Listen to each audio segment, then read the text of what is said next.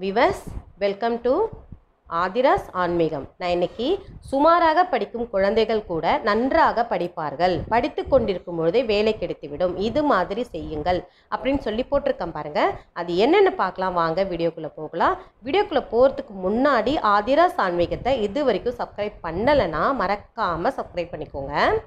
இப்போ வந்து பிள்ளைங்க படிக்கலைன்னாலே வீட்டில் ஒரு டென்ஷன் எல்லாருமே இப்போ என்ன பண்ணுறாங்கன்னா அதுக்கு முன்னாடிலாம் பார்த்தீங்கன்னா பாஸ் ஆயிட்டாங்களா? அப்படின்னு தான் கேள்வி கேட்பாங்க. ஆனால் இப்போ இருக்கிற பிள்ளைங்க இப்போ இருக்கிற இந்த ரிசல்ட்டு வருது அப்படின்னாலே எல்லோரும் என்ன பண்ணுறாங்க பார்த்தீங்கன்னா அவங்க வந்து மார்க் என்னங்க? அப்படின்னு தான் ஃபஸ்ட்டு கேட்குறாங்க பாஸ் ஆகிறதுல இப்போ பெரிய விஷயமே கிடையாது. மார்க் எடுக்கணும். அதே மாதிரி காலேஜ் படிச்சுன்னுக்கும் போதே அந்த பிள்ளைக்கு கேம்பஸில் வேலை கிடச்சிடணும். அதுதான் மெயினான விஷயமா பார்க்குறாங்க.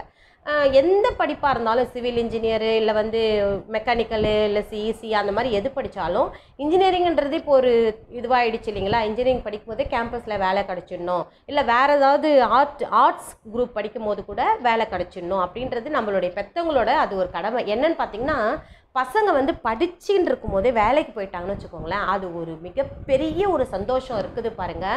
அது வந்து அது அந்த அனுபவிச்சவங்களுக்கு மட்டும்தான் தெரியும். அந்த மாதிரி வேலை கிடச்சி போ போகும்பொழுது பார்த்தீங்கன்னா நல்ல ஒரு நம்ம நம்மளுக்கே கூட பரவாயில்ல. பிள்ளைங்களை நல்லா வளர்த்துருக்குறாங்க அப்படின்ற மாதிரி ஒரு இது கிடைக்கும். இப்போ வந்து என்ன பண்ணு என்ன பண்ணணும் அதுக்கு? நம்ம பெற்றோராகிய நாம் என்ன பண்ணணும்? பிள்ளைங்க கொஞ்சமாக படிக்கிறாங்களே என்ன செய்யலாம் அப்படின்ற ஒரு கவலை மனசுக்குள்ளே அவங்களுக்கு இருந்துக்கிட்டே இருக்கும். இதை பற்றி என்கிட்ட நிறைய பிள்ளைங்க இதை பற்றி கேட்டிருக்காங்க. அம்மா என் பிள்ளைங்க படிக்க மாட்டேங்கிறாங்கம்மா சோம்பேறியாக இருக்கிறாங்கம்மா நான் என்னம்மா செய்யணும்? நீங்கள் ஏதாவது ஒரு வழிபாடு சொல்லுங்கள் நான் செய்யறேன் அப்படின்னு சொல்லி கேட்டிருக்காங்க. அதுக்கு என்ன பண்ணலாம் பார்த்தீங்கன்னா பெற்றவராகிய நீங்கள் வந்து இருக்கலாம். இந்த விரதம். என்ன விரதம்னு பார்த்தீங்கன்னா வியாழக்கிழமை வியாழக்கிழமை குரு தட்சிணாமூர்த்தியை போய் நீங்கள் வணங்கணும். இப்போ இந்த குரு தட்சிணாமூர்த்தியை நீங்கள் வணங்குறது மூலிமா வேலை மட்டும் கிடைக்கும். நல்லா படிக்க மட்டும் செய்வாங்க அப்படின்னு நினச்சிடாதீங்க உங்களுக்கு பதவி ப்ரொமோஷன் கூட இவர் கிடைக்கிறதுக்கான வழி பண்ணுவார். நீங்கள் வந்து வேலை நம்ம ஒரு நம்ம பிள்ளை இப்போ சாதாரண ஒரு வேலை செஞ்சு நிற்கிறாங்கன்னு வச்சுக்கோமே இப்போ வந்து அதிகமான ஒரு வேலைக்கு போவாங்க. அதிகமான ஒரு சம்பளம் கிடைக்கும் அவங்களுக்கு. அந்த மாதிரி ஒரு விஷயம் நடக்கும். நீங்கள் அந்த மாதிரி மட்டும் செஞ்சு பாருங்களேன். நான் சொல்கிற மாதிரி வியாழக்கிழமை காலையில் உங்களால் முடிஞ்சால் விரதம் இருங்க. முடியலைன்னா கஷ்டப்படுத்திக்காதீங்க. உடம்ப கஷ்டப்படுத்தி விரதம் இருக்கணும் அவசியம் கிடையாது. கடலை இருக்குது பார்த்தீங்களா அந்த கருப்பு கருப்பு கடலைன்னு சொல்லுவோம் இல்லைங்களா? அந்த கருப்பு கடலையை வாங்கி நீங்கள் இரவே ஊற வச்சிடணும். அதை ஊற வைக்கும் போதே நம்ம முத நாள் மதியமே என்னை கேட்டால் ஊற வச்சிடலாம். இல்லை காலையில் கூட எழுந்து கூட இல்லை சாரி மதி நைட்டே ஊற வச்சிடணும் அதை. நூற்றி எட்டு கடலை எண்ணி ஊற வச்சிருங்க. மறுநாள் காலையில் எழுந்து என்ன பண்ணு பார்த்தீங்கன்னா ஓம் குரு தட்சிணாய நமக ஓம் குரு தட்சிணாமூர்த்தி நமக. அந்த மாதிரி உங்களுக்கு தெரிஞ்ச அந்த ஸ்லோகத்தை நம்மளுக்கு ஸ்லோகம்தான் சொல்லணும். நான் அதில் இருக்கிற அந்த படிப்பை தான் நான் படிக்கணும் அப்படின்ற அவசியமே கிடையாது. உங்களால் தெரிஞ்சதை என் பிள்ளை இந்த மாதிரி படிக்கணும்.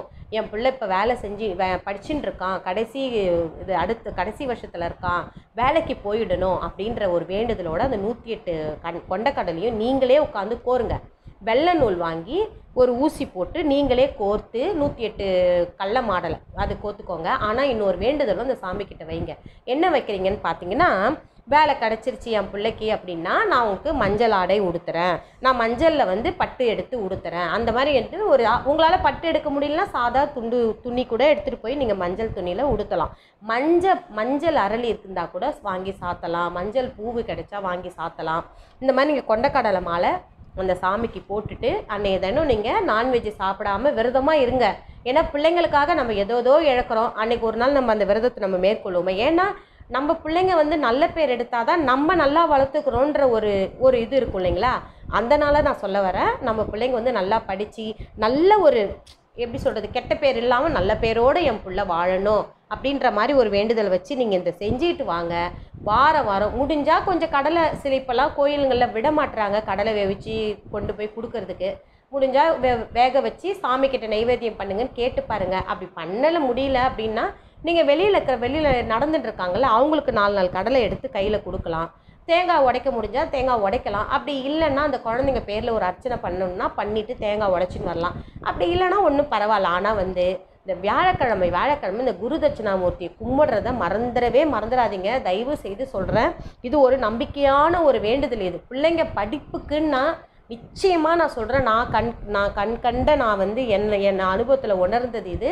இது வந்து மாலையாக நீங்கள் கோர்த்து இந்த சாமியை நினச்சி ஒரு இந்த குருதட்சிணாமூர்த்தி இப்போலாம் வணங்குறாங்களா என்னென்னு எனக்கு தெரியவே இல்லை. வியாழக்கிழமைனா நாங்களாம் என்ன பண்ணுவோன்னா இந்த குருதட்சிணாமூர்த்தியை தான் போய் வணங்குவோம். ஏன்னா என் பிள்ளைங்க படிக்கும் போது நல்லா படிக்கணும். என் பொண்ணு நல்லா படிக்கணும். என் பிள்ளை நல்லா படிக்கணும். பிள்ளைக்கு வேலை கிடைக்கணும் அப்படின்ற மாதிரி ஒரு வேண்டுதல் வச்சு நான் அந்த சாமிக்கிட்ட தான் நான் போய் நல்லா வேண்டி இருக்கிறேன் எங்களுக்கு நல்ல ஒரு பலன் கிடைச்சிச்சு. அப்படி சப்போஸ் உங்களுக்கு குருதட்சிணாமூர்த்தி இல்லையம்மா நான் வீட்லேயே கும்பிடலாமா அப்படின்னா வீட்டில் எப்படி கும்பிடுவீங்க? குருதட்சிணாமூர்த்தி படம் வச்சுருக்கீங்களா? படம் வச்சுருந்தா கூட கும்பிடலாம். மாலையாக சாத்தி அந்த மாலையை வந்து என்ன பண்ணலாம் பார்த்தீங்கன்னா மறுநாள் எடுத்து மாடு கீடு போச்சுன்னா கொடுக்கலாம். இல்லை காக்காவுக்கு உருவி போட்டோம்னா பறவைங்க சாப்பிட்லாம் ரொம்ப நல்லது. அப்படி சப்போஸ் நான் என்னால் கோவில் இல்லை எங்கள் வீட்டு பக்கத்தில் ஈஸ்வரன் கோயில் இல்லையேம்மான்னு கேட்குறவங்களுக்கு நான் இதை சொல்கிறேன் ஈஸ்வரன் கோயில் இருந்தால் கண்டிப்பாக குருதட்சிணாமூர்த்தினு இருப்பார். கண்டிப்பாக அந்த அந்த அவருக்கு நீங்கள் செய்கிறது மூலயமா வாரம் வாரம் நீங்கள் இதை ஒரு வாரம் கூட தவறாமல் பிள்ளைங்க படிக்கிற வரைக்கும் செய்யணும். இன்றைக்கி தான் செஞ்சேன் நான் ரெண்டு வாரம் செஞ்சுட்டேன் என் பிள்ளை என் புக்கை கூட தொடலைன்னு நீங்கள் நினைக்காதீங்க. ஆனால் தினம் தினம் நீங்கள் கடைப்பிடிச்சிட்டு வந்தீங்கன்னா சாரி வியாழக்கிழமை வியாழக்கிழமை கடைப்பிடிச்சிட்டு வந்தீங்கன்னா நல்லதே நடக்கும். நல்லா உங்கள் பிள்ளைங்க படித்து நல்ல ஒரு மேல்நிலைக்கு போய் கொண்டிருப்பார்கள். விவர்ஸ் வரைக்கும் என்னோட வீடியோ வாட்ச் பண்ணதுக்கு ரொம்ப ரொம்ப நன்றி. எனக்கு நல்ல ஆதரவு கொடுத்துட்டு வரீங்க அதுக்கும் நான் நன்றியை தெரிவிச்சுக்கிறேன். நான் இன்னொரு வீடியோவோடு நான் உங்களை மீட் பண்ணுறேன்